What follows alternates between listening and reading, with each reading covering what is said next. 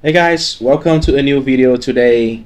This is my effort on trying to help out the new players that comes to PoE to understand more about the economy in the uh, PoE game, which is an extremely complicated topics. So this will be going through all the things that I think are like the essential stuff that will help you to first of all know what to do and then you know help you on deciding what kind of strategy that you will choose for yourself as well. So just a disclaimer, if you are the kind of player just just want to follow a strategy from other people and care about the amount of currency per hour then there's a lot of things out there and when the league start when people figure stuff uh, figure things out and when me personally if i figure something out then I would probably share it in another video, which is specifically a strategy. This one is more for the people who want to, you know, have their own thinking of what's good and what is bad, or have a preference of which kind of content that they are going to like to play, right? So it comes from the very basic stuff. So if you are a veteran, you know, I I mean, this is going to be a very long video, first of all. So I will try to make it as detailed as possible in terms of uh, sections. And then, you know, you see you can see on the list of sections and you can see, you know, which uh, topic you are not even interested in and you can, you know, just skip it. Um, by my estimation, this probably take, um, I'm not sure, maybe the the shortest amount of time for me to complete this this whole thing is probably an hour. The longest amount of time by estimation is probably three hours. So let's hope it is something that is one hour or less. I will try to go as fast as possible. So without further ado, let's go to the actual topic of the video, which is Econ 101 PoE. This is specifically dedicated to the Necropolis patch note. So it is not gonna you know predict the economy of the necropolis league but it's just based on the content that i know that is available on the necropolis league and also all the changes or the um, changes from the patch note that was available a few days ago. So let's get to it. So um okay. First thing first how to make money. Here is the list of all the methods that will uh, you know, basically help you make money in PoE. So the most basic one is to grind. Uh, it doesn't matter which kind of content you grind, right? So you can play maps, which is the most common one. You can do Sanctum, you can do Delve, uh, you can do, in the maps, you can farm uh, Legion, uh, Bestiary, Essences, you know, a lot of stuff. So basically, this is the thing that everyone do and everyone can do, right? It is the most basic stuff. You just play the game and you got loot, and that loot will eventually be converted to some certain amount of currency, which translate into money in this game. Next one is doing services. This is a little bit more advanced compared to grinding. Normally, it is still a grind because uh, service is basically you helping other people to do something else uh, that is normally difficult, and you charge a certain amount of currency for it. Normally, the most common ones are five ways, so that uh, you basically carry people with your very strong clear build.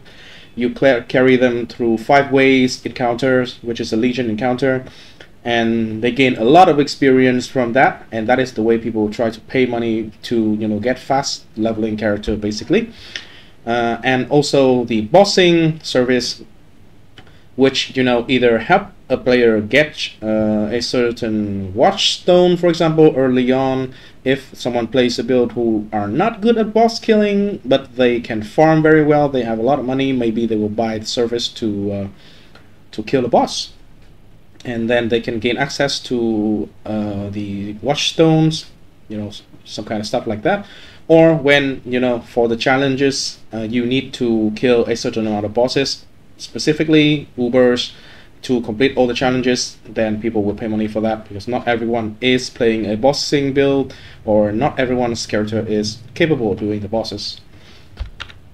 Okay, next one, flipping. flipping uh, this one require a certain amount of knowledge so you need to know the value of a item uh, this can be told easily in some cases and not so easy in other cases for example if you have seen a unique on the market let's say the normally all the things that you see are like two divines but suddenly you see two of them listed for just one divine then the natural thing is to buy those for one divine and then resell them for two divines. So you get basically a divine profit for each of this unique. That is the easy part, right? So when you search for something, if you see something is, you know, have a couple of uh, items that is, you know, much cheaper than the average, then you can apply the method. Uh, in some other cases, for example, rare items, mm, like decent rare item, mostly uh, they can be listed for very cheap because uh, rare items are harder to price um, compared to uniques. Uniques they have a set of fixed stat, but rare item you know it depend on each person's valuation on the item. Maybe they got it dropped. Maybe the thing is not too good, so they would just sell it for cheap.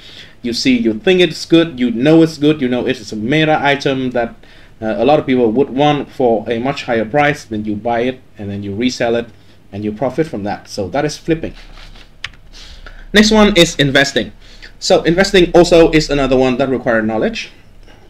Uh, but the very simple thing that I can share with you guys here in terms of investment mm, on, for example, in the first couple of days of the week uh, of the league, uh, when league starting, um, the prices of a divine is much cheaper compared to what it can be later into the league. So your best bet whenever you farmed, for example, let's say on day two you farmed a bunch of chaos, so you farmed 500 chaos, you probably should look at the price of the divine. By experience, we can tell that uh, the divine prices normally stabilize around 200 to 220, which is the maximum price for a divine. But early in the league it can be like 100 120 uh, 150 something. So if you have money lying around that you do not use for some other purposes you should keep them as for example in this case divine not chaos because chaos value will decrease over time but divine value will increase over time relatively to each other. So that is the most simple and obvious the advice I can give to you as a new player that you can apply easily, right? Because if you play a good league starter build that doesn't require a lot of gear, then you can just focus on farming and you know basically keeping the currencies to you know afford another build that is much stronger and much more enjoyable for you later. So that is a very nice thing to do. It also applies to all the items in the game, by the way. Uh, but yeah, if we got too deep into it, it will be a very very long conversation. So just keep that in mind investing is good. Uh, this one crafting crafting now there is there are probably two levels of crafting that I would like to uh, to mention. Maybe three. So the first one is like some kind of mid mid tier item which normally is what I kind of specialized in in the last couple of leagues where I first got into crafting. So I tried to craft a bunch of you know decent item. For example, if it is a boots, I will craft uh, I will craft a boots with uh, suppression, movement speed, mm, uh, thirty percent or higher, uh, maximum life tier one or tier two, and then decent resistance. Not all tier one. If it is all tier one, it will be like in the mirror tier of uh, things. Then it will be much much different. However, there are certain ways for you to craft those kind of item at least before the method I used was using Veiled Orb and meta crafting. Uh, now Veiled Orb is gone from the game, but there will be ways to always craft very decent items that you can resell for profit. And you know, crafting is always very good profit because people want good item and will pay good money for good items. Um, also, crafting is something that can be done that can be done at a very very high level, very end game level in terms of mirror crafting. So there are items that are basically perfect, all tier one modifiers, all very synergistically work well with each other. for example a very high DPS weapon you know a lot of people would like to mirror that item because that item is very hard to craft and uh, you know if you want to craft an item like that you will probably cost more than a mirror itself.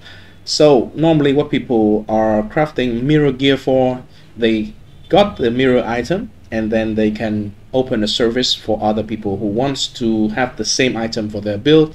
They can make they can take a mirror and then some extra fee. Normally it is quite a lot like 50 divine 100 divine maybe even more depend on you know what item it is and who is the owner but they can make a huge amount of profit by crafting mirror items. Not everyone is you know um, willing to do the, the mirror crafting because it can take a lot a lot of money.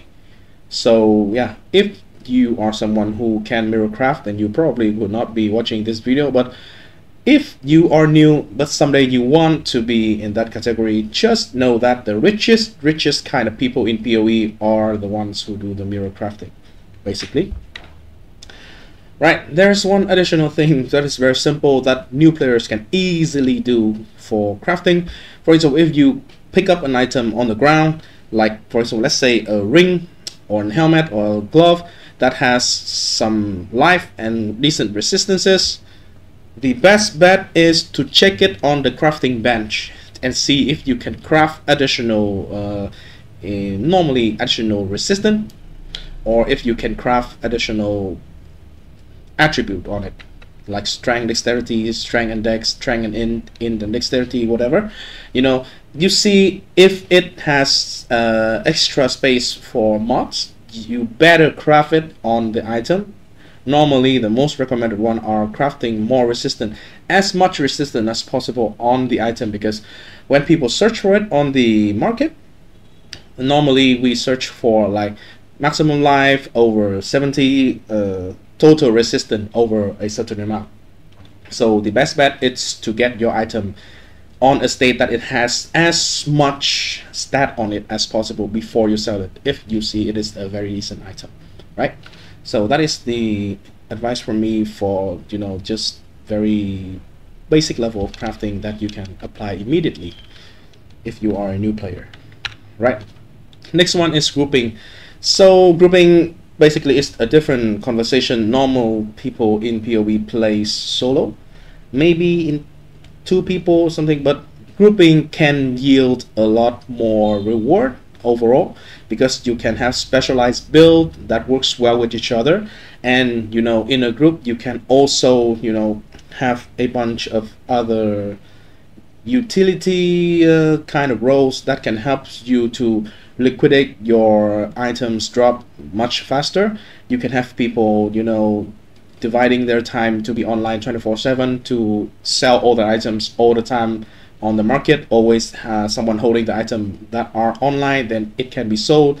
If you are a solo player at the time you are offline or afk you cannot sell the item so you cannot really actually make the money. So yeah grouping have some certain benefit to it. If you are interested in grouping you would be different from me. You would have friends that play the game with you and you you know you will find uh, this kind of information somewhere else not from someone who plays solo like me because I know just a tiny bit on top about grouping.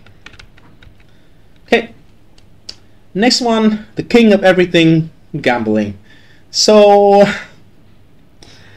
well, let's say to be honest, if I'm completely honest, uh, they gambling here, there are methods of gambling in PoE that most likely will, will give you profit uh, but uh, it's not recommended because normally it require a lot of initial wealth in the beginning. You need to have a lot of tickets in order to try to win the lottery, basically. So this can be from like a opening stack decks, try to six linked item, uh, div card grumbling with the harvest crafting bench, and double corrupting item, you know, a lot of stuff that can be very RNG based that you can actually do for profit. And that can potentially be a lot of profit, by the way. For example, I have a viewer who added me on Discord where I make um, the Juggernaut AFK build, and he farmed a lot of stuff, and he he likes the build, so he tried to do a lot of temple and then corrupt a bunch of uh, the items that I used on the build, uh, try to double corrupt it, and after like 20 runs or something, I'm not even sure how many runs, but he hit a very very big ticket item, a very nice like best in slot double corrupt that is sold for like 600 divine or something. So those kind of things are very gambly in its nature. You can just basically have absolutely nothing from the result, but sometimes you can win big just to leave it out there because I know, you know, we play games and in game, you know, currency or money doesn't matter as much as like in real life or anything. So at some point, or maybe at the end of the league, if you don't want to play on standard, if you don't care about it, you'll probably try to find ways to gamble your stuff away just for some little bit more fun. And then you wait for the next league, right? Next method, mathing or mathling. Uh, this is uh, basically a more advanced type of flipping, in my opinion. Uh, if you don't know who Matho is, uh, he is like the most beautiful man that the PoE community has ever seen. And he is not only famous for his gorgeousness, but he is also famous for making a bunch of very good builds that are hipster, that utilize a bunch of uh, underpriced item or, you know, low priced item. But if the item he used is relatively rare and you know relatively low in terms of supply on the market there can be a chance that people would try to buy those items out because he is a very popular person because he's a very beautiful person uh, and they would try to price fix the item that Matho used so people want to follow Matho's build they will have to buy those items and they will have to pay more money and they can profit from you know the differences in terms of price fixing. Basically it happens in some cases that are very very extreme. Uh, lately I don't think it has been too bad. But I think maybe Matho will try to avoid using rare items uh, more nowadays. But before there are some cases where the items that Matho use are kind of expensive just because he used it right now we get to the bad stuff that I will not recommend anyone to do. It exists in the game, and it is terrible thing that exists in the game. I want to mention it here because I kind of want to also warn new players on this one. Scamming here can have multiple kind of uh, shape and forms. Uh, the one that I have experienced myself when I was a very new player, like 12 years ago, very long time ago, right?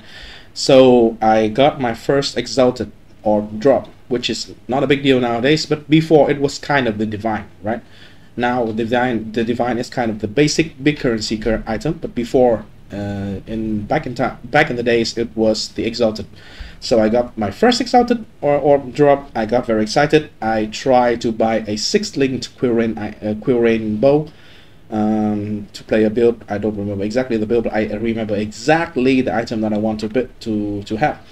And when I trade for the item, the item is not six linked. It's actually a four linked and a two linked. That looks very very similar to a six linked just because of how the item works.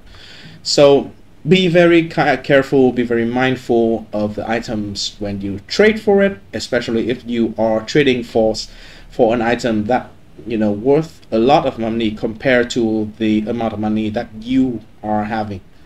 Uh, so yeah that was a horrible horrible experience. A personal message to the guy who scammed me like over 10 years ago. Fuck you. If you are watching this fuck you. It's personal i still remember it till this day and if i ever found you i will kill you okay Next one, price fixing. So this is kind of the bad form of the feeling uh, on the above, but this normally doesn't really have anything uh, related to a you know content creator content creator or anything but it's a different form of trying to manipulate the price of a certain item. For example if let's say an apothecary card the divination cards right? Uh, normally let's say the price is uh, 30 divine. At some point lastly it should be like 30 divine so, or something like that. By the end i think it is 26 uh, but let's say it is the, the actual price is 30 divine. When a new player uh, somehow is lucky and got an apothecary card, card uh, dropped, they search it on the market, they can see, you know, a few uh, or maybe even a lot of uh, result for searching for the price of the item that are like even 1 divine, 10 divine or, you know, whatever. There can be a lot of people trying to list the item for much cheaper than the actual value of the item.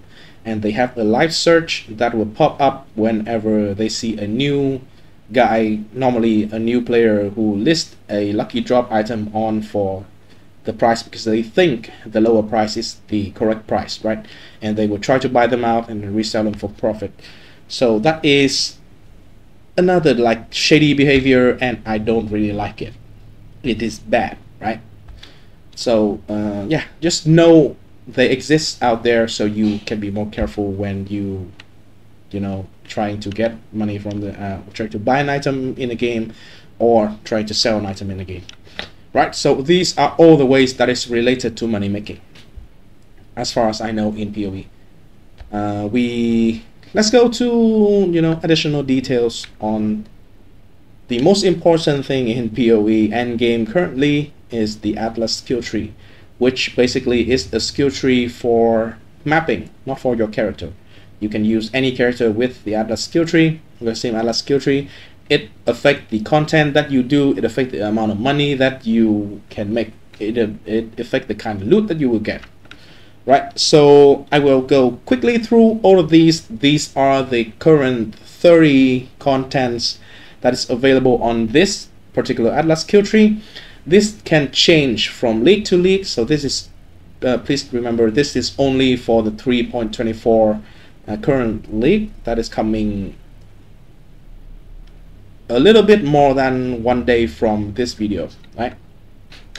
So, uh, for example, last league uh, or and before there was Metamorph, but in this league, Metamorph was completely removed from the Atlas skill tree and maybe later they can re-add metamorph and remove something from this list. They can add like affliction back to here with a different form not just a single keystone for example. You know a lot of stuff can happen because the poe continuously get new content into the game and they can go core. And they can you know just try to take something out of the game and try to fix it because it's not balanced it's not good or it's too good in some cases. So this is the current uh, things that are available in the game. I will try to go through it quickly. So first of all, Necropolis, this is the new content in this league, and it is, I think they are, um, you know, good, but not everyone will enjoy the kind of uh, micromanagement that it require. But I think it will be very strong because this is heavily, heavily um, you know tied to crafting. And also for the lazy people like me they have the keystone on the skill tree that allow you to basically randomize and get some extra perks for doing randomized necropolis uh, content in the map. And so we can always have that kind of uh, thing. So the profit from necropolis is either from the benefit beneficial modifiers on the map on the pack of monster designated on the map um, as if you want to know more about it, you should probably watch the content reveal video of uh, GGG. And also, the profit can coming can be coming from crafting. And I think next week you will see a lot of crafting video related to Necropolis. Not only from me, I will definitely go get a lot deep, uh, really deep into crafting with Necropolis because I really like those stuff but you will get the kind of content that have introduction in crafting, sharing tips and tricks about like cool crafting method with Necropolis from a lot of content creator. So just expect that to happen. It will be very beneficial. It will be very profitable. That is Necropolis. That is what I think it will be. Next one is Kirac. So Kirac is uh, basically the map master mission. Uh, he will give you a map mission that basically have a specific um, objective. If you complete it, you will have a specific reward that is uh, already explained in the objective. But that is not the important part. The Kirac here, along with the next one, which is the maps uh, uh, they are extremely good for map progression. And what is map progression? It is when you start the league, you have zero point in your Atlas skill tree. And by completing each map at least once with a certain requirement, depend on their tier, you will unlock uh, that map on the Atlas and also you will have an additional point that you can put into on your Atlas skill tree. And Kirac and maps basically try to give you access to more maps. Especially Kirac, you on the Kirac mission, you can actually uh, get you know uncompleted maps that maybe is not even linked you to your to your current atlas. And so uh, yeah it helps you to complete more maps faster basically. So this is very good to take them early on in the league. With this current league because they are having three different uh, atlas skill tree so I will probably recommend you to have your first atlas skill tree to be dedicated to progression and then you can have actual strategy on your second and your third uh, Atlas skill tree whenever they are available. I'm not exactly sure how, where and when it will be available, but I don't think it will be locked behind something that is very, very late into the game. So um, yeah, I think the first one should be dedicated into map progression. I will share with you a tree in a later part of this video as well, and uh, for map progression. Right, maps, right, it basically helps to drop more maps. Uh, so it is very good for progression. And in the end game, by the way, uh, maps is a very valuable asset. So if you know what is the meta meta map that people likes to run, then there will be people who buy those kind of maps in bulk. Uh, which, for example, you have a whole tab, a hundred maps uh, of the same type. People would like to buy it and normally it is actually a very good amount of money a very decent amount of income that you can actually sell to other people right? So yeah that is maps. Scarab is something that is very big this league. Uh, scarab uh, there will be notes on the skill tree that helps you to either increase the chance for you to drop scarab while mapping or sometimes you know increased chance for the scallop uh, scarab uh, drop to be a certain kind of scarab. And the scarab the new scarabs uh, the reworked one looks very very crazy by the way. Uh, currently the most simple advice I can give to a new player is try to match a bunch of scarabs that share the same content for example, if you, for example, let's say you uh, do expedition, uh, let's let's say you do bridge, you probably should use a bunch of bridge scarabs uh, with your maps. Of course, it should be paired with a bunch of bridge uh, passive on the Atlas skill tree as well. That is normally the very you know obvious, simple, uh, obvious, optimal way for you to actually abuse uh, or maximize the efficiency of your scarabs and also your atlas to get as much loot as possible. This league with all these scarabs that are currently revealed already, I think this league's uh, level of loot will be very close to the last league. Very, very close. There are certain combos that looks just absolutely broken. Okay, but that is for a future conversation, not uh, right now, because nobody have tested it with, except for people who are in GGG. Next one.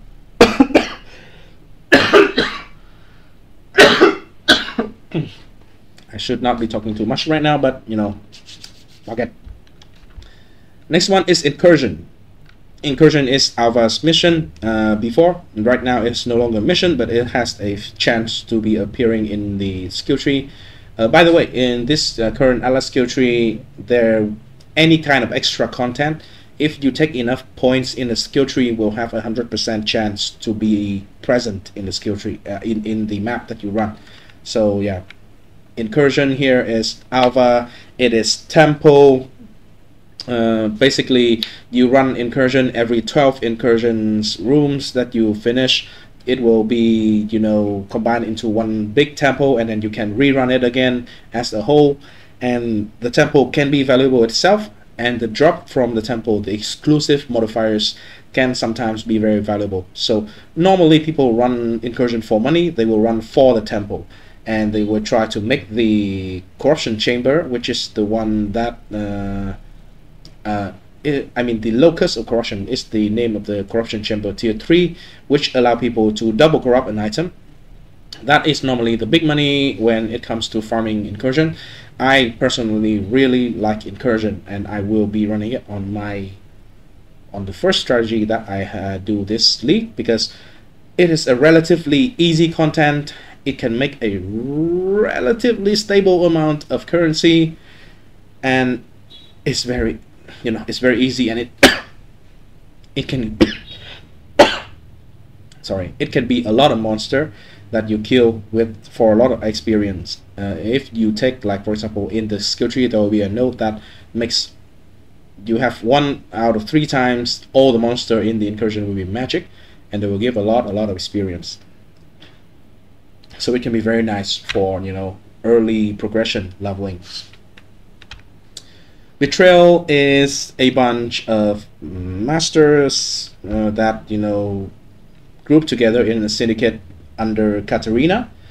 Um, Betrayal currently this league Betrayal was uh, reward will mainly be Scarab, but the main thing if you want to farm Betrayal for is not only the Scarab but also in my opinion the new Veiled Orb, which is exclusively dropped from killing Catarina I believe it's not guaranteed, but it can only be dropped there, which function basically as a very, very powerful crafting um, crafting way, which was tied to Aisling before this league.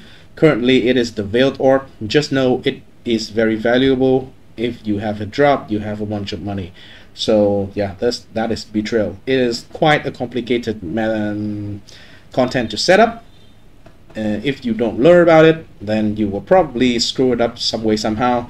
But I think this league it will be more straightforward because the reward has been, you know, level between all the different masters, basically. So it should be easier to do betrayal this league, I think. If you want to look into it, uh, you know, find out about it, learn about it from there are many sources for it. Bestiary it will add uh, more rare monsters, special rare monsters to your map that have special bestiary modifiers. They can be not killed but captured by the master Einhar uh, and then holy shit my throat is killing me. Uh, and then you can you know re-kill them in the uh, menagerie which is the bestiary area and then they will you know allow you to have some special crafting options that you can do on a lot of kinds of items. So yeah that's bestiary that is uh, basically rare map in in rare monster in maps. Kill them unlock more crafting. Delve delve uh, in the map in the Atlas skill tree. All the things that are related to delve are probably around getting the resources to run delve which are the sulfite. But it is a pretty standalone content compared to normal mapping. It is a infinite dungeon that you will go deeper, deeper, deeper into the ground, and it will be harder, harder, harder. And of course, more reward will be the reward will be better at the you know high high amount of depth, which is the higher level, the more difficult content. Just try to go as deep as possible in this content and get as much reward as possible. That is basically how it works. Heist. Heist is also another standalone content. You can, you know, farm uh, the resources to enter Heist in map. uh, just like Delve. Uh, but the different thing from Delve is Heist. You can actually buy those resources from other people. For Delve, you cannot buy Sulfite for for, for from other people. You have to farm it yourself in map or in you know campaign in any zone. But for Heist, you can actually buy the coins uh, the uh, Rogue Harbor coin, uh, the coin to enter the Rogue Harbor, and you also can also buy the uh, blueprint, the um, I forgot the name of it, the contract to run heist, and uh, yeah, that is heist. It has a lot of exclusive reward, some very very big ticket item, very rare, very powerful item. Uh, so you know, look it up if you like the playstyle. It's a decently different playstyle from uh, normal mapping in PoE but if you like it, then give it a shot. I personally do not. Oh, I forgot to press. Yeast. Next one. Strongbox. One of. Holy shit.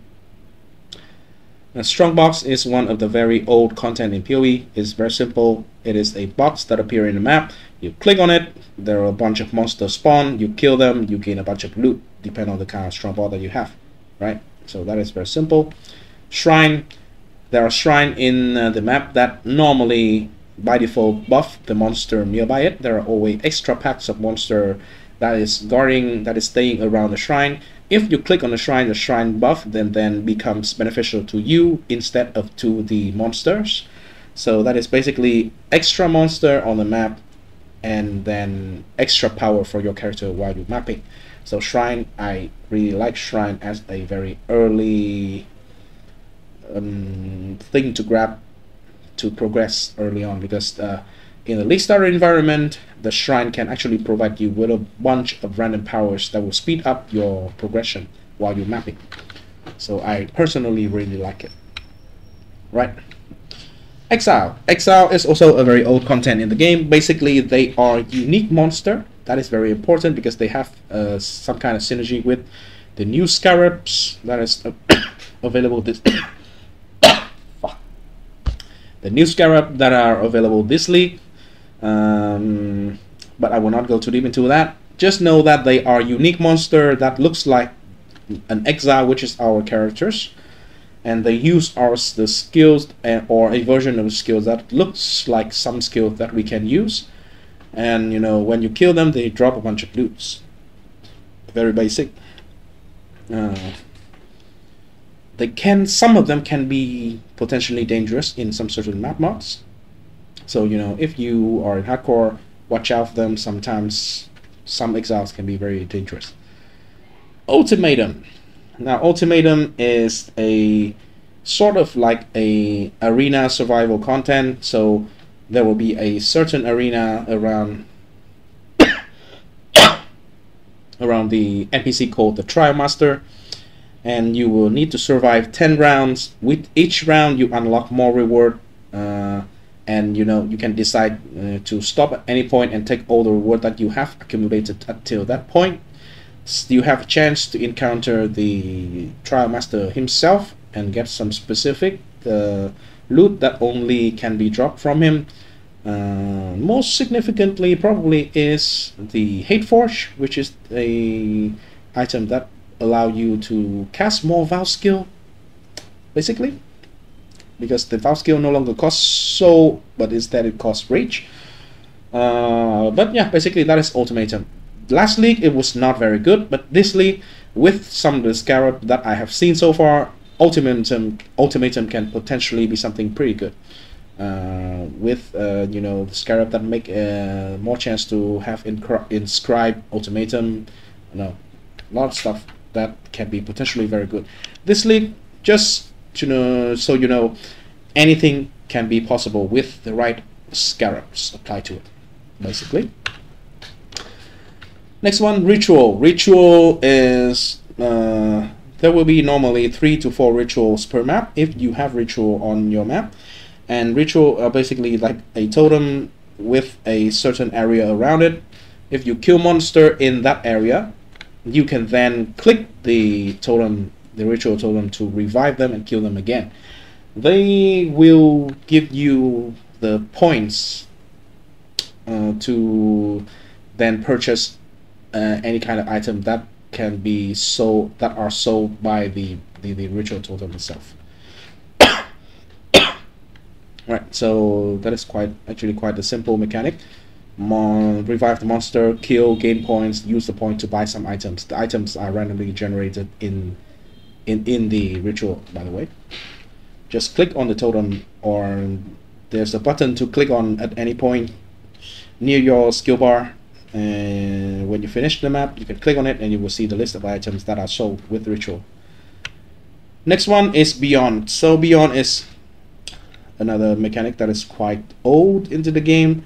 Uh, beyond basically when you slay monster when you kill monster close to each other there's a chance for you to summon beyond portal and it will summon a bunch of beyond monster that you kill for extra loot basically uh, currently, there are the tainted currency, which are the exclusive reward that can be dropped from beyond monster and bosses. So, you know, that is something special about Beyond. But basically, they are extra monster. Uh, they can be bosses spawn, but there can also be a there there there is also a note on the skill tree that allow you to you know prevent all the any bosses from spawning in Beyond, but instead just spawn more monster. Uh, so it depends on your preference if you want to run Beyond. So it is very comfortable, very nice uh, content to do because it doesn't require you to stop killing or anything. It just pop out when you kill um, monster randomly, and then they pop out and you kill them. So that's quite nice. Abyss. So Abyss is a very uh, thing that is very very strong. last Lastly, with the Affliction, uh, this league I'm not so sure if it is uh, as strong for uh, some reason. Maybe there are scarabs that can aid with the Abyss uh, item drop, but uh, they are basically a let's say a portal that is shaped like a vein on the ground and they will continuously spawn monsters until for for a duration and you, you have more monsters to skill to kill basically. Uh, relatively slow compared to other mechanic in terms of monster spawning. Breach. So you see a breach on your map. You walk on it and it will open a it will open up it will expand from that point to a circle around and there will be monsters from breach which are normally purple and then you kill them you get extra loot some uh, some you know fragment splinter that can eventually make you a that can make you a, a breach stone which allow you to access the content of the breach lords and then have exclusive drop from the breaches. Uh, basically yeah, the Breach, uh, I think, will be better this league. Also, something that was not very good in the previous couple of leagues, but this league, this looks like there is an insane combo for Scarab again with Breach that potentially can shit out a bunch of uh, Breach Stone every single map, I think. Expedition, uh, expedition here uh, can be complicated but can be simple. Um, the, what I normally like to do with this one and what I would recommend uh, new players do if you don't want to learn a lot about this mechanic is to take the big the the big explosion so basically you plant down a bomb on the uh, expedition area and then it will explode and it will summon a bunch of monster you kill them you get exclusive reward to expedition which you can use in gambling with Gwennen, crafting with Rog, you know, haggling with uh, uh, that guy? Tujen? I don't remember exactly the name. Uh, normally I butcher the name as well. So yeah, a bunch of exclusive reward that can use with the NPC from Expedition. There's a bunch of them with different purposes. And yeah, just one thing that you need to keep in mind that this is the only content in the game that sometimes can have a modifiers that makes the monster immune to a certain type of damage. And if your character is doing like one type of damage, for example, let's say you are an ignite build and you only deal fire damage, then you will have to, you know, be more mindful when you put down the explosion uh, to avoid, you know, accidentally trigger some immune to fire mod on the uh, expedition and that will screw up your build entirely. You can be will not be able to kill them. Just keep that in mind. Legion. Now legion you will when you click a legion monolith it will show a large amount of monster nearby that monolith but they are frozen in time. Not frozen. Damn it. Not frozen in ice but frozen in time. And you would try to break them out by you know basically killing them once. You can do you can kill them multiple times this league uh, with the new scarab. But before normally you will kill them once and then after a certain amount of time or after you kill all of them they will break you know break free from the frozen from the time frozen thing and we'll start fighting each other or fighting you.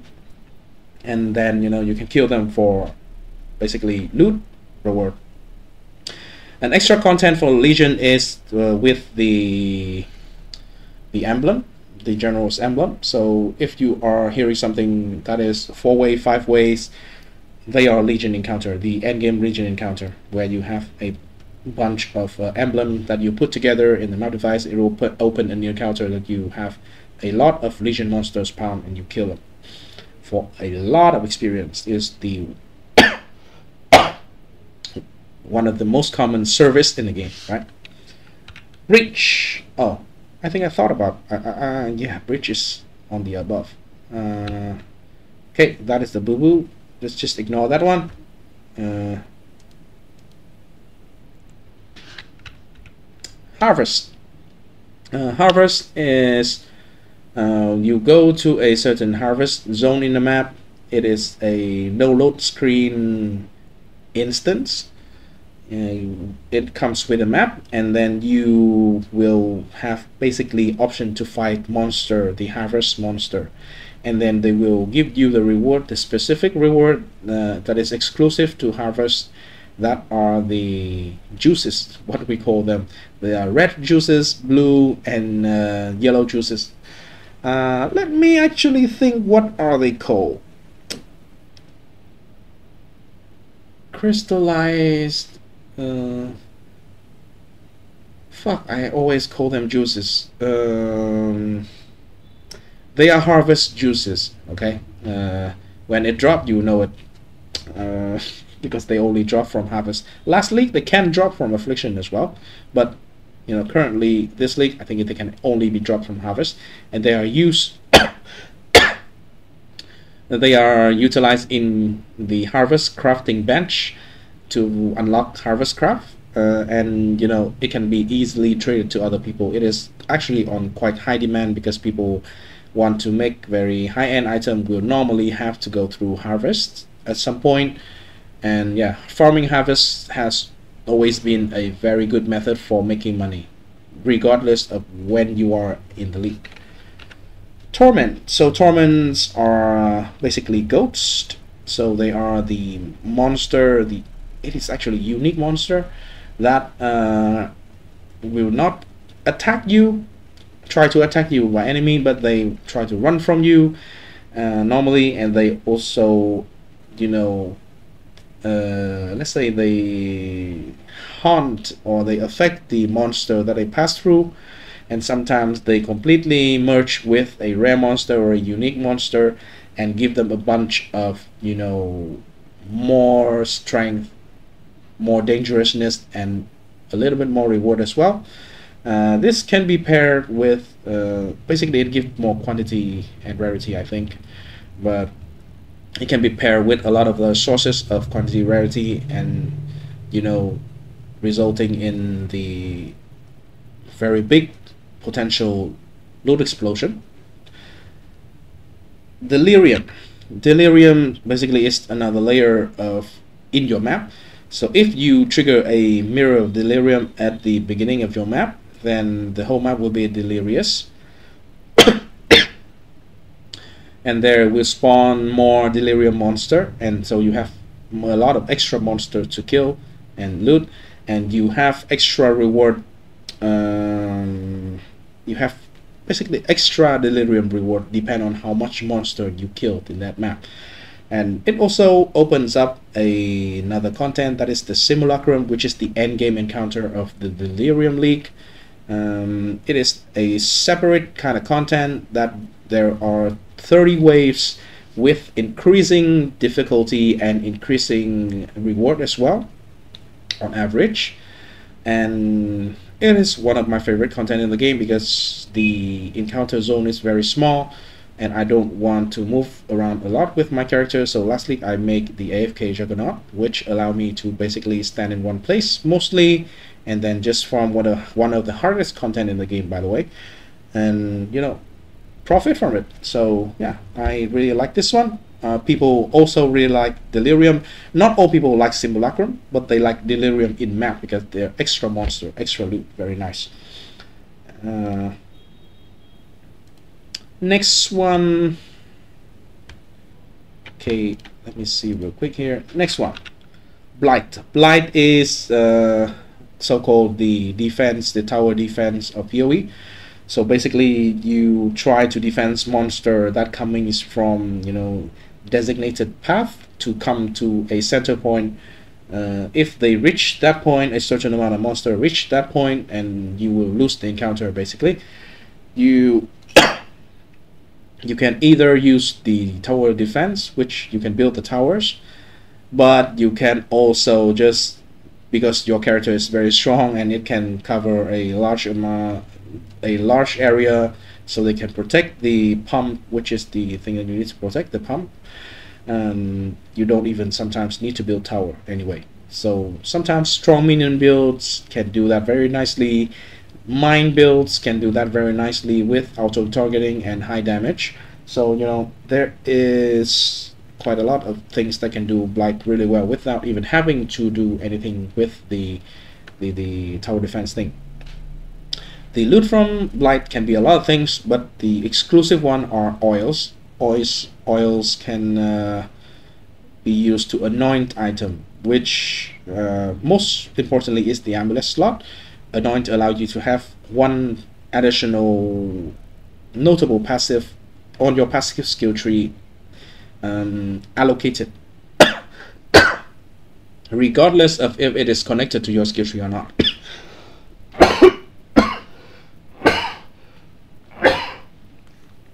Holy fuck. Okay. Shit. Uh, one second, please. I need to get some water. My throat is killing me.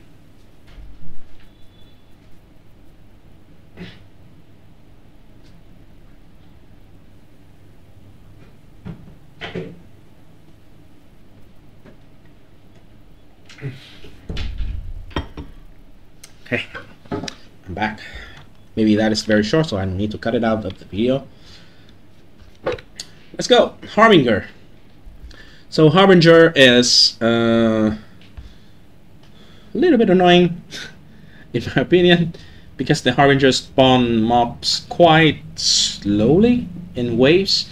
You kill them, you drop uh, items, and most uh, the, the, the most signature reward from the Harbinger are the shard of currencies. Normally they don't really drop good shards, so personally I don't really like this content. I have seen people doing strategy around Harbinger, which with a you know proper setup can be very good, but it's just not something for me. But you have invulnerable Harbinger uh, summoner they will summon a bunch of mobs in like three, four waves or something, and then you have to kill the monster. Right. Next one is a Vaal, and this is Vaal side area. And so while you're leveling, you probably see Vaal side area like the corrupted zones uh, that you can enter, and then you can open a Vow vessel at the end to give you Atziri fragment and also Vaal gems, right? So that can happen in maps as well. And you have certain modifiers in the Atlas tree that can modify the Vaal zones in a couple of ways, you know. I have not been doing the Vaal side area in the Atlas ever. Maybe maybe it is good, maybe it's bad, but I don't see a lot of people doing it, at least at the moment. Essences. This was a very, very, very popular and easy method for money making for a lot of people.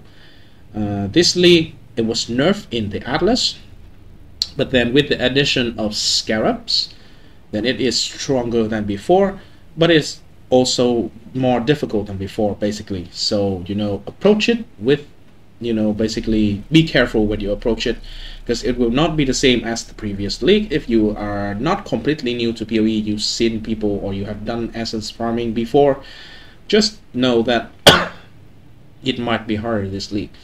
But in my opinion, it should be still very good.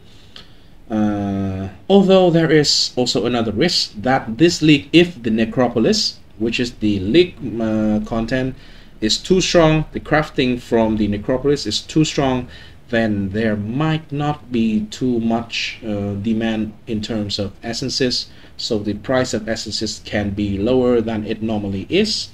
Uh, but essences was uh, one of the main way for crafting items. Maybe this league it cannot be on the same degree because of Necropolis. I'm not sure about that one, but be cautious. Watch the price of the essences before you actually try to farm the essences, basically. That is what I'm trying to tell you. And how are you able to watch the price of anything in the game? Well, you go to PoE Ninja, poe.ninja. Literally, you know, what poe.ninja. It would help you to track the price of any items in the game. Uh, it's quite easy to use as well. Also, you can look at people's build uh, in PoE Ninja. Very, very helpful website. website. Next one, next content is Exarch. Uh, Exarch is the Searing Exarch. Currently, uh, this league, probably the only thing we care about is the altar of the Exarch. So it can drop the Eldritch currency, allow you to have Eldritch implicit on your rare items. on your rare armor items. So yeah, that is the main thing that we will care about in terms of Exarch this league because Exarch, the Uber Exarch is removed from the Atlas skill tree. It's now a different pinnacle level content that we need to access through a different meaning, which is the new tier 17 maps. Right, so Exarch, the same for Eater, either we just care about the altar here. If you take the keystone to, uh, if you take the altars, the exarch, um, if you choose the exarch to watch, you do the maps, or the eater, you will see the outers red, uh, the red or the blue outer depending on which one you choose, and then they can drop the you know respective currency, the respective eldritch currency for eater or exarch. Uh, I think it's still something worth doing in my strategy. I, in my planned start strategy, I still do Exarch because normally people farm the Eater for you know maybe chances to have a divine shrine or something. But I do Exarch because normally because people always do the Eater, so the Exarch currency are in general more expensive compared to the eater. So yeah, I choose the more reliable income instead of the eater where sometimes you can have big loot, but normally the drop is not as valuable as the exarch. Right, the last one, but not least, the bosses. So here uh, are actually there are guardian bosses here. There are um, the conqueror guardian and there are the conquerors uh, and there also there is the synthesis map bosses. Those three I you know basically group them together into the bosses because each of them have only one cluster in the top side of the tree. Um, you know they, they just basically provide specific bonus into those kind of maps or additional chance to drop those kind of maps. And those maps I'm not sure if this league they are gonna be any valuable before they are like 30 last league it was like 35 30 uh, 25 30 chaos uh, for one map or for one fragment which is the result from killing the boss in the map. But this league because the uber content will be accessed through a different way so depend on how good the non-ubers are then we'll see if the price of those kind of maps are worth it basically.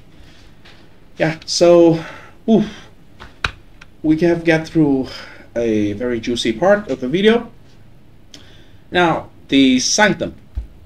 This is completely completely isolated from the other part which is the atlas skill tree. This is a complete different content that is you know they have nothing to do with the other thing basically. You access it through the forbidden tome which can drop from any zone between six, level 68 to 83 uh, the item level doesn't really mean anything. Just need to have a forbidden tome basically it's like the key to entrance the forbidden sanctum. And then you choose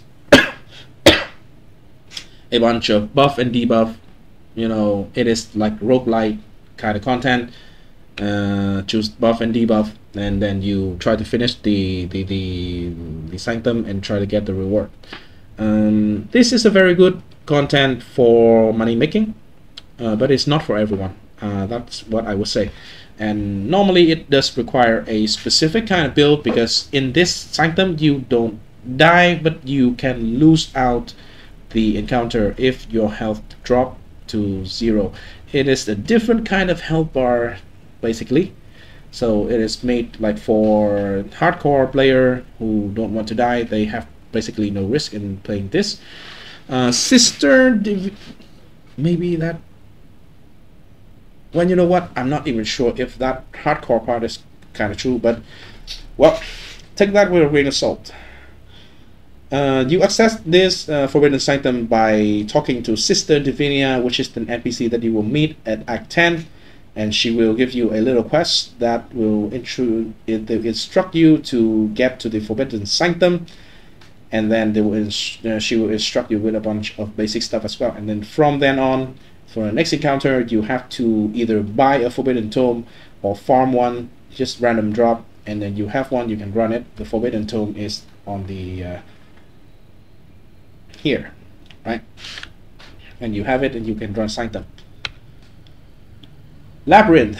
Uh, I added this piece of content in last minute before I record this video because I realized it is actually a very very viable strategy for league start because at the league start environment the demand for you know popular or strong transfigured gem is quite immense uh, or maybe even later into the league, there are certain uh, transfigure gem that can be can be very very very valuable.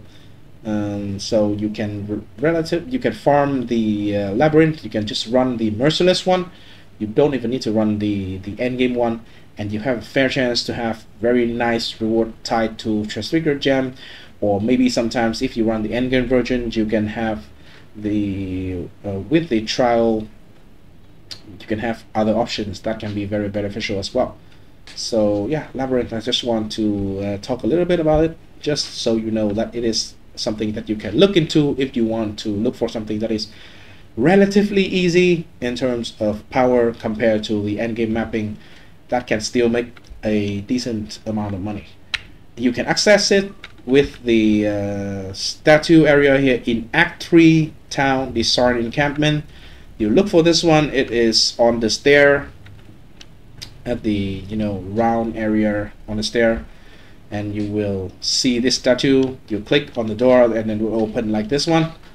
Right it will show you if you have completed all the trials. The trials are mm, basically it will show you where you find the trials. Or if it doesn't show you that is you did not get to that area once. And so you can you know basically go to PoE wiki or something to find out which one which zone you can find the rest of your trials before you can do the labyrinth. That is something that is uh, you need to know if you are a new player basically uh, this is also the place where you ascend your character so basically it's when you have when you unlock your ascendancy class which is much more powerful than just the basic character of like an archer, a templar, a marauder, a witch. You can ascend to different classes like the Deadeye, which is very good for projectile skill, for bow build, uh, the Elementalist, which is very good for Ignite build, for example. This, those kind of stuff. They are unlocked through they unlocked through the labyrinth. Uh, and the labyrinth map over here, this one. This is the layout, the average layout of a labyrinth. So basically, you will go through a bunch of uh, instances until you reach the final point, which is this one here, which is the this is the first phase, second phase, and last phase of the Izaro, which is the boss of the labyrinth. And you kill him, and you finish the encounter, and you get to a reward room, which with a bunch of chests that you can open with the keys you have collected throughout the run and then also some options related to the transfigured gem that you can utilize to basically try to get the good transfigured gem that either you want to use yourself or you can sell them if they are worth a lot of money. It is a safe thing to do if you plan to try to run the labyrinth for profit it is safe to do if uh, that you should go to poe.ninja and then check for the prices of the transfigured gem see which one is the one that are currently expensive and then you can just basically if you see them pop up in the options you can choose them and profit from that so yeah that is my recommendation for the labyrinth it is a viable thing to do early on it can make you a certain amount of money relatively safe to do because it technically is content within the campaign, right? Unless it is the endgame version, by the way. So here is just a uh, example of the atlas tree for progression. Uh, I just want to show you quickly on how it looks like here. Basically, I'm taking all the nodes that say chance to drop an adjacent map, right? uh, and all the Kirac and all the map num um, the, all the map mods uh, all the maps node that are available here right so yeah this is the basic the things that you want to do you want to have as much chance to have additional maps to run as possible as a, a early progression thing basically uh, another another tips if you can run Atziri well, you know, if you can run Atziri early on, it is not hard content. Uh, if you can run Atziri, they can drop a bunch of like tier 4, 5, 6, 7 maps really uh, from from the zones and so if you run out of map early on if you're unlucky somehow you don't have enough map to just keep running you can go there or you can buy maps from Kirac you can use Kirac missions that you have check for the Kirac mission and then see which maps are uncompleted so you can do it and then you have much faster progression in terms of Atlas. Why is it important? Because you have more points unlocked into the, the Atlas skill tree with the more maps that you completed. That means more power from your Atlas skill tree for your, you know, economy power basically. So yeah, especially this league because we have multiple skill trees uh, so if the unlock um, if the unlock requirement for the second Atlas skill tree is not too hard to do, maybe they require you to do 50 maps before you get it or 100 maps before you get it, then well, I would recommend you to do something like this one. And then on your second Atlas, whenever you unlock it, you have a real strategy. Uh, yeah, next one this is gonna be my strat so I just want to talk little bit about it on how what is my thought process on making this kind of thing. So you maybe you can apply it to yourself uh, if you want to make your own strategy. Because early on in the league I have to say that nobody can know for a certain that something will be better than each other especially with a league like this one where there's a huge amount of overhaul in terms of endgame. These scarabs are completely new and very, very, very important in terms of uh, trying to maximize your loot from a map. Also, all the contents got somewhat change uh, in certain ways. So I just basically, first of all, in this strategy, I take everything that is related to Necropolis, uh, almost everything, except for this keystone. I think it has the is the random craft uh, keystone. I don't like that one. So yeah, uh, I take this notable, this this notable, this thing over here, right? This is the notable that makes basically you are lazier and your your your options for Necropolis in map will be random, so you don't have to worry about clicking it or anything, right? So I take that one, I take this one, I take all the stuff that are related to Necropolis because I think it will be strong and it's the new thing that I want to try out. So I take everything related to Necropolis, and then because I like incursion for early. Hmm, for very early uh, progression. I like incursion as I explained in the previous section. So I want to take everything related to incursion. And that are the two main things that I take. So with two or three main things that you want to take, normally you should have a certain amount of points left on your on your Atlas skill tree. Normally it should be three main thing and maybe two or three, you know, just extra, a little bit extra. Here I have two main, Necropolis and Incursion, which I text everything on the on the uh, Atlas skill tree, and then the other thing I take is Expedition, uh, because I like doing the big explosion expedition, which is this node over here, right? Uh, if you take this one, it will be just a one sing one single big explosion instead of trying to have to map out all the explosion multiple times. I don't like doing any of that. So I think this is a comfortable uh, thing for me to do. So I choose to take this one because it's very close to the the normal skill tree that I have done to take all the necropolis and incursion. So expedition is my next choice. I have a bunch of uh, the expedition stuff that is very close here. I think this is Rog if I remember correctly, this is Rog because Rog is very powerful crafting method for early on in the league. So I want to take it early on. Later, maybe I change it to uh, Tujen or uh, maybe even Gwennen for some gambling as well. That depends, right? But early on, at least this is the, the the plan. And then the other two things that I have uh, quite a few very close to the skill tree. With the leftover points, I take stuff related to Shrine, and strong boxes, right? And uh, yeah, just uh, relatively simple things that uh, can, you know, increase the amount of monster that I can kill in a single map and, you know, boost the experience and the loot. So these are the things that I think that are, first of all, relatively easy and second, the, the main thing here is the necropolis thing. I, I'm not sure if it's going to be easy or hard uh, so depend on what it actually feels like, then maybe I will change up the strategy, but that is for future conversation, conversation where we actually have uh, the actual testing done, right? But incursion is very safe for me, at least I try to start with it uh, with incursion ex expedition for every league and then some shrine, some strong box. So this is a strategy that I am comfortable with it myself, and I think it is, it you know, some other people might find it the same, might feel the same way about this kind of uh, strategy, this kind of content.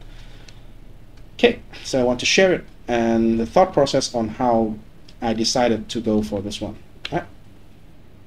So yeah, we have made it to the end of the video. So thank you so much. Thank you so much for watching. And if you like the content, please press the like button in uh, for the video. And also please subscribe to the channel I am very close to a thousand subscriber, which is a huge, huge milestone for myself because uh, you know it is the first time where you know YouTube can stop the playing ad on my video for free, basically. Uh, so yeah, a thousand is like a big milestone for any new content creator, uh, myself included, and I'm very excited for it. And you know, I can promise nothing. I'm not sure how good content, how much, uh, how how good my content will be in the future, or you know, how valuable it is to my viewers, but I can only promise that I will try to give my everything to try to make things as at the best at it as I can. Uh, so yeah, please like and subscribe to the channel. It helps me great, great, great, greatly. Subscribe and see you in the next video when my throat is much better. Peace. Oh, by the way, uh, I will be streaming on Twitch from League Start. Um, I plan to do to streaming earlier, but there are a lot of technical difficulty that I have to overcome. I think I have uh, resolved all of them. I have tested a, a, a very short stream on Twitch um, recently and it's gone pretty well. So if you want to join me on League Start, I would not be from the exact time of League Start because the um, currently I am working on the same room as where my wife and kid is sleeping as well at the moment. The league is starting. It's like in the middle of the night for me where I live. So I only can do it like a few hours later. So I can start like a few hours late compared to other people. But I'm kind of used to it and uh, it's not a big problem to me starting a little bit late.